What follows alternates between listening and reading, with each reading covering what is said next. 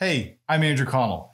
This video is an overview of one of the chapters in my course, Mastering the SharePoint Framework, that's available for uh, purchase on my site, voitanos.io.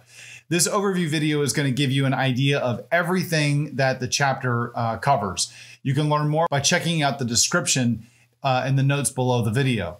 Um, if you got any questions about this chapter or about the course in general, just make sure you drop a comment uh, below in, in the uh, below the video, and I'll be sure to get back to you.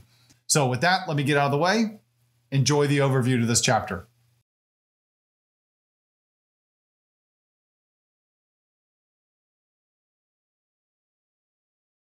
Design is something that all projects should factor into the development process, as it has a significant impact on the usability, experience, and therefore the adoption of all custom solutions.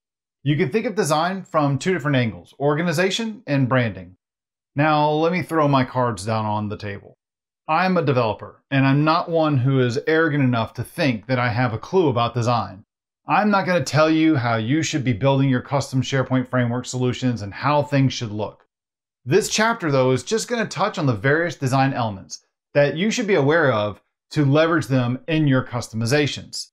Then this chapter is going to look at the branding options and specifically leveraging colors in the form of custom CSS, themes, and visual languages. However, like any well implemented project, you need to evaluate if you need to bring a professional designer into the project at an early stage to ensure that your customizations have the best chance of success and therefore adoption. Only you can decide if that's important, so just keep that in mind. The goal of this chapter is to make you aware of the tools that Microsoft has made available within the SharePoint framework. Okay, so let's look at what this chapter is going to cover in a little more specifics. This chapter will first look at some design elements to consider when building custom SharePoint framework solutions. We'll first touch on an overview of the design elements in SharePoint customizations, and then we'll look at some of the design elements to consider with respect to web parts in the areas of property panes, placeholders, and sizing of your web parts. Finally, we'll look at dialogues, a smaller design element that can be leveraged by SharePoint Framework customizations such as web parts or application customizers.